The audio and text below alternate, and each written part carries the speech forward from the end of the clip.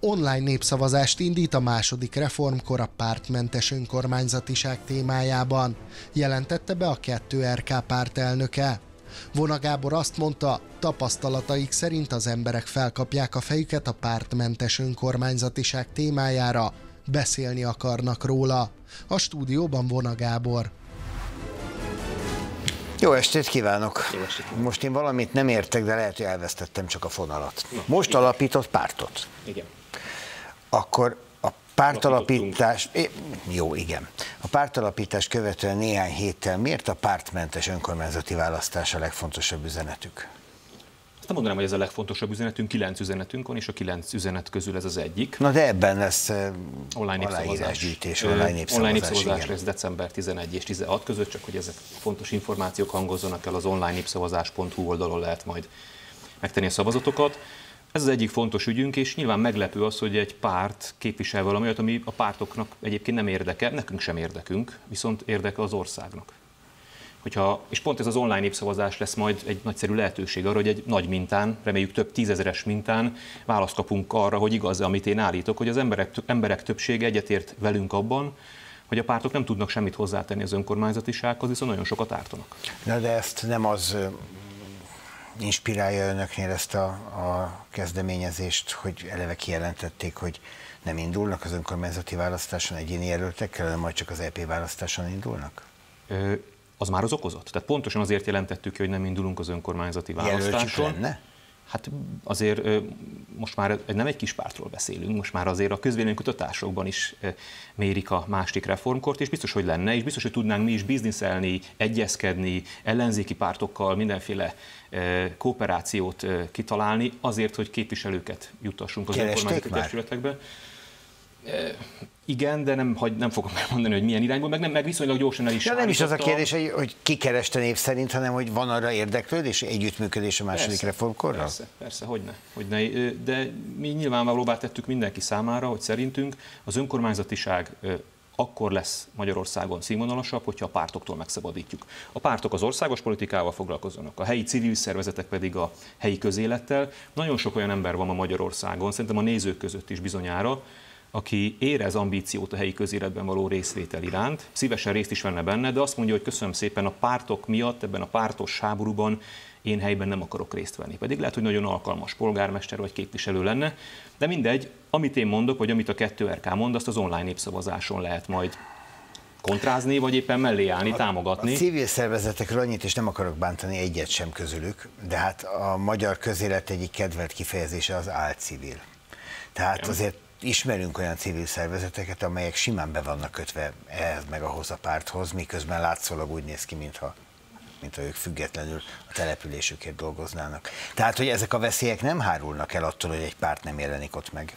Ezek a veszélyek egy lépésben nem hárulnak el. De azt hiszem, hogy ha megszabadítanánk a jelölőszervezeti lehetőségtől, vagy meg, kivennénk a jelölőszervezetek lehetőségéből a pártokat az önkormányzati szintéren, akkor előbb-utóbb egyre több olyan civil szervezet tudna megerősödni, aki hitelességet tud építeni az emberek körében. Tehát azért azt ne felejtsük, hogy amihez közel vagyunk helyben, azt viszonylag jól megismerjük, és szerintem az emberek nem buták, átlátnak azon, hogy ki az civil szervezet és ki a helyi civil szervezet, ki az, aki valóban helyi munkát végzett. Úgyhogy én azt, azt gondolom mindenképpen, hogy, és pártként állítjuk, ez is nagyon fontos, hogy mi lényegében önmagunkat korlátozzuk ezzel a javaslattal, de azért tesszük, mert, mert szerintünk a másik reformkornak az egyik fontos vívmánya lehet, hogyha a lokalizmust, a globalizáció korában a lokalizmust is segítjük azzal, a helyi megoldásokat, a helyi döntést, a szubszidiaritást, azzal, hogy ne legyenek pártok, ne legyen a pártos teher a helyi önkormányzatokon.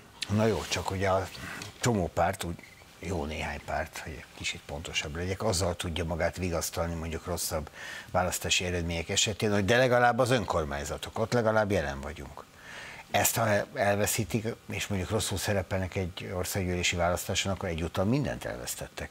Nyilván nem érdekeltek ebben. Hát mi hiszünk a programunkban. Tehát, hogy a másik reform... Most nem önökről, hanem mondjuk a, a többiekről beszélek, akik az ellenzéki oldalon küzdenek. Ó, hát majd a többi párt elmondja az online népszavazás előtt, abban a kampányban, ami most előttünk áll, egy hónapig mindenki elmondhatja a véleményét, és elmondhatják a pártok, hogy ők miért tartják azt helyesnek, hogy legyenek pártok az önkormányzatokban. Tehát, hogy én megfordítanám ezt a kérdést, szerkesztő úr nem biztos, hogy nekem vagy nekünk kell magyarázkodni, hogy miért ne legyenek pártok, mert szerintem az viszonylag mindenki számára egyértelmű, hogy nagyon sok problémát okoznak a párt logikával a pártok hmm. helyben.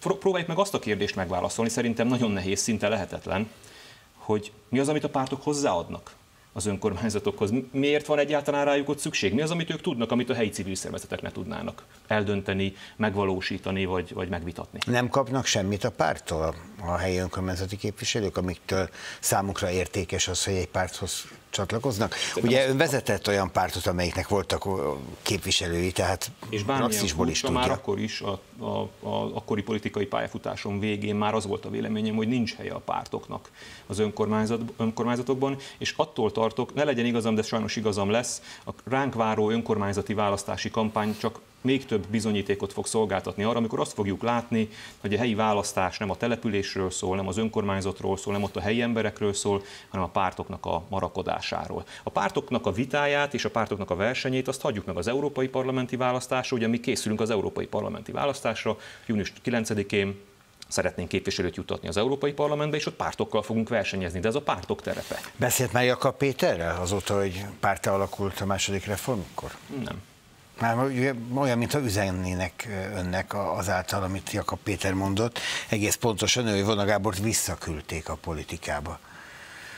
Ki küldhette vissza? Hát ezt tőle kell megkérdezni, nem biztos, hogy bele tudok Nem látni. kérdezte meg őt, hogy ez nem, micsoda? Nem, nem foglalkozunk más pártokkal. Az egyik pillére az volt a mi indulásunknak, hogy új politikai kultúrát szeretnénk, és nem mások címkézésével, vagy mások gyalázásával, vagy karaktergyilkolásokkal foglalkozunk, hanem a programunknak a bemutatásával, és Sokszor nem egyszerű ezt tartani, mert az ember nyilván, hogyha megtámadják, akkor jó lesne visszaütni, de próbálunk önmérsékletet tanúsítani, és és tényleg a saját programunkra koncentrálni, arra, hogy mit jelent a másik reformkor, mik azok az ügyek, amik a mi programunkban fontosak, és azt hiszem, hogy az az országjárás, amiben most éppen benne vagyunk, 13 megyeszékhelyen voltunk már, és mindenhol teltház fogadott bennünket, és nagyon sok fiatal, az azt bizonyítja, és én már láttam pártot a semmiből fölépülni. És szerkesztő úr el, hogy itt most egy olyan párt épül a másik reformkor neve alatt, amelyik néhány év múlva meghatározó erő lesz. Még egyszer ugyanabba a folyóba? Nem, ez egy egészen másik folyó. Online népszavazás decemberben. A kérdés ugye az lesz, hogy legyen-e párt az önkormányzatokban, az önkormányzati képviselőjelöltek választásán. Köszönöm szépen, hogy itt volt. Köszönöm. Vona Gábor pártelnök volt a vendégünk. Most pedig aktuál Bodac Balázs, a Szervusz Balázs, jó estét! Szervuszágon köszöntöm a nézőket. Múlt héten Gulyás Gergely kancellária miniszter azt mondta, hogy most kedden a parlament elé kerül az úgynevezett szuverenitás védelmi törvénycsomag. Ennek a részleteiről egyelőre még keveset tudni, de azért egy-két dolgot már hallhattunk. Például, hogy három évi börtönt kockáztat az, aki választáson indul és külföldről fogad majd el támogatást. Az pedig korábban a Fidesz frakcióülésén mondta Kocsis Máté frakcióvezető, hogy a törvénycsomaggal az is cél, hogy borsot törjenek a baloldali újságírók orra alá. Aztán lemondott Vigyánszki Attila, a Nemzeti Színház igazgatója. Ezt a lemondását Csák János kultúráért felelős miniszter nem fogadta el egészen a vizsgálat lezárultáig. Azon vizsgálatról van szó, amelynek során, illetve aminek apropóját az adja, hogy két színész nagyon súlyosan megsérült, miközben négy méter zuhant egy pénteki előadáson. Korábban már vannak erről hírek, jelezték egyébként, hogy az a díszlet veszélyes. Elsimó Lászlót viszont vastapsal búcsúztatta a Nemzeti Múzeum kollektívája. Erről is tudunk majd mutatni egy kis videót. Az Iváncsai akugyár leépíti a buszjáratokat, a munkásjáratokról van szó. Van olyan dolgozó, aki nekem miatt már munkanapot megelőző este el kell indulnia azért, hogy reggel hatra beérjen. Azt mondja a távol-keleti multi, hogy optimalizálják ezeket a járatokat, és megszűnt a hazai műtrágya gyártás, legalábbis ezt jelentette be az Agrárszektor című szakportálnak. Bige László, a Péti nitrogénművek tulajdonosa, illetve elnök vezérigazgatója.